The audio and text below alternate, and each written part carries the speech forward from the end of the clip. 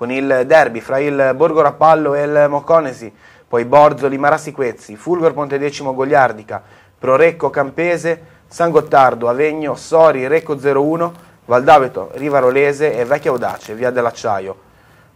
Borgo Rapallo Moconesi, subito derby, il Borgo Rapallo si dovrà riprendere dalla sconfitta con la Campese. E non è fortunato il Borgo Rapallo perché ovviamente il calendario gli mette subito di fronte un'altra delle grandi del girone, quindi è una partita sicuramente difficile, per di più un derby. Insomma, si poteva sperare in un calendario un po' più favorevole in questa circostanza. Una partita sicuramente da vedere questa comunque perché aperta ad ogni pronostico, Borgo Rapallo ha chiamato un riscatto, il Moconesi però deve vincere per non perdere contatto con le posizioni di testa. Anche la Val d'Aveto con la Rivarolese, un'altra candidata al titolo. Altra bella partita, Rivarolese con Dodo Veroni scatenati in questo inizio di stagione, anche lui è un giocatore insomma, che non c'entra nulla con la prima categoria. Eh, può uscire fuori una partita molto bella, due squadre penso che giochino a pallone entrambe, eh, impegno difficile per la Val d'Aveto, però la Val d'Aveto arriva a questa gara con eh, penso i nervi tranquilli, eh, forte, un inizio di campionato positivo, non ha molto da perdere, quindi può giocarsela ad armi pari.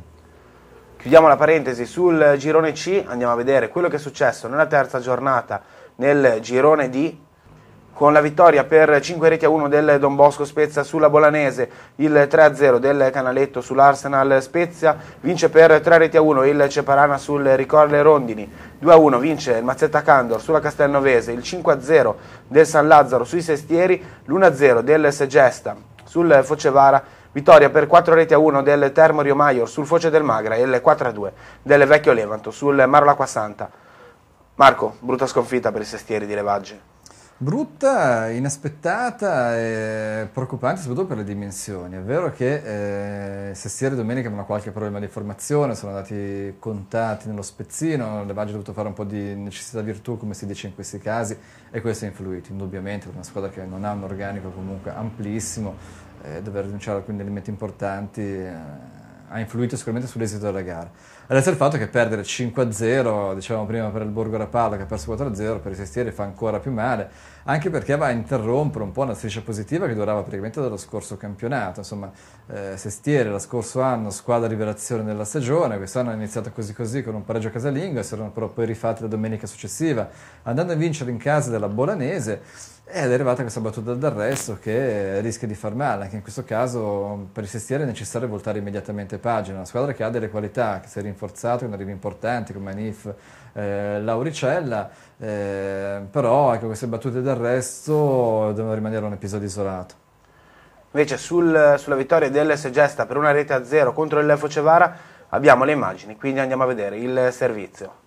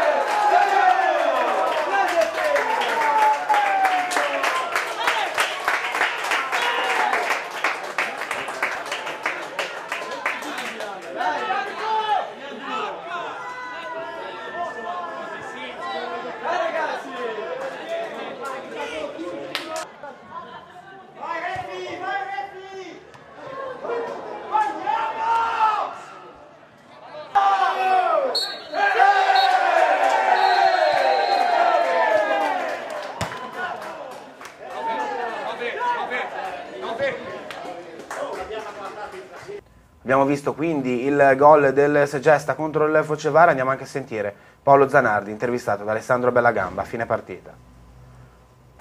Paolo Zanardi, mister del Segesta, fa un commento della partita. Beh, è stata una partita molto dura, abbiamo messo su un piano che a noi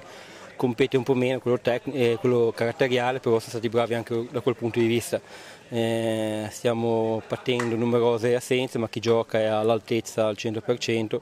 e riferito poi alla partita in, in, sé, nel senso che fino a quattro anni fa una partita simile per il Segesta era solo impensabile eh, affrontare il Focevara che era addirittura in Serie D e affrontarlo e batterlo è stato un, un notevole merito per tutta la società e credo che sia importante andare su questo, avanti su questi livelli.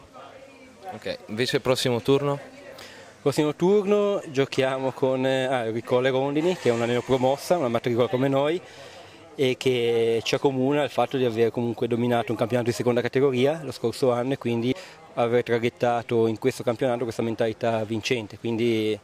sarà una partita d'alta classifica che entrambe vorremmo vincere e cercheremo di andare là a San Benedetto e spugnare un campo difficilissimo. Marco, invece il Segesta ha iniziato bene, due vittorie in casa, è arrivata una sconfitta deve... domenica scorsa, però un bel cammino. L'ambientamento nella prima categoria è stato buono, due vittorie in casa, positiva, deve un po' sfatare ora il tabù, il tabù delle trasferte, la prima l'ha persa, ci può stare, effettivamente poi andare a giocare alla Spezia, lo sappiamo bene, è sempre difficile, Segesta è una squadra che ha dei valori tecnici importanti, un innesso come quello di Cotelessa, che torniamo al vecchio discorso, i giocatori che non c'entrano nulla con la prima. Eh, già l'anno scorso era una squadra molto tecnica in seconda che per lungo periodo ha dominato il campionato, salvo poi il sorpasso alla fine eh, subito per mano dell'Avegno. Ha iniziato bene, è un allenatore molto preparato, anche in questo caso c'è molto entusiasmo, ripeto, iniziare a fare qualche punto fuori casa, poi il Segesta può diventare una sorta di mina vagante del torneo. Bene, andiamo a vedere anche la classifica con il Non Bosco Spezia, il vecchio Levanto in testa 7 punti, 6 Foce del Magra, Ricolle Rondini, Focevara e Segesta, 4 punti per Ceparana, Castelnovese, Canaletto, Arsenal Spezia, Sestieri, Termo, Rio Maior, 3 punti il San Lazzaro con il Mazzeta Candor, 1 il Marolacqua Santa e 0 la Bolanese. Anche per il girone D abbiamo la classifica marcatori che vede Giacobbe e Scardavilli in testa con due reti, Giacobbe del Segesta, Scardavilli del Sestieri a, a una rete, Paolo Gilardi del Segesta, Lauricella del Sestieri, Riva del Segesta e Federico Zanardi del Segesta. Sguardo anche al prossimo turno con il vecchio Levanto che va in trasferta in casa dell'Arsenal Spezia, Castelnovese, Termo Rio Maior, Focevara Canaletto, Foce del Magra Ceparana, Marolacqua Santa, Don Bosco Spezia, Ricolle Rondini Segesta, San Lazzaro Bolanese e Sestieri Mazzetta Candor. Marco i Sestieri affrontano Mazzetta Candor che non è una squadra debole, però vista la classifica può essere una gara abbordabile per la formazione di Levaggi. Mm, sì, vista la classifica sì, è una squadra che probabilmente non sta attraversando un buon momento, però il Mazzetto è una squadra di categoria, è sempre poi stata una squadra molto tignosa, lo sappiamo da anni, è una di quelle squadre che non mollano mai, tra le più difficili credo da affrontare, quindi è una partita eh, per nulla semplice. I Sestieri devono mantenere i nervi freddi, sanno giocare molto bene a pallone, i Sestieri sono una squadra che ha questa caratteristica, devono sfruttarla soprattutto nelle partite casalinghe dove magari viene meno un po' quel fattore agonistici che invece si subiscono andando nello spezzino. Invece per il Segesta è uno scontro diretto anche se sono giocate solo tre partite perché anche Ricolle Rondina ha sei punti come la formazione di mister Zanardi. Sì, la classifica dice questo, effettivamente ora dopo tre giornate magari parlare di scontro diretto è forse un po' presto, però questo dice la classifica. Mm, ripeto, anche in questo caso, mm, se Segesta si iniziasse a fare punti fuori casa sarebbe molto importante. Non credo sia una partita proibitiva per il Segesta eh, ha tutte le possibilità per fare il risultato, arriva con il morale a mille dopo la bella vittoria di domenica scorsa in casa, perciò sono tutti gli ingredienti per eh, tornare dalla Spezia questa volta con un risultato positivo. Abbiamo visto anche tutto quello che riguarda il campionato di prima categoria Girone D, rimanete con noi perché dopo la pubblicità Silvia Rovegno e Marco Pagliettini con Tutto Seconda.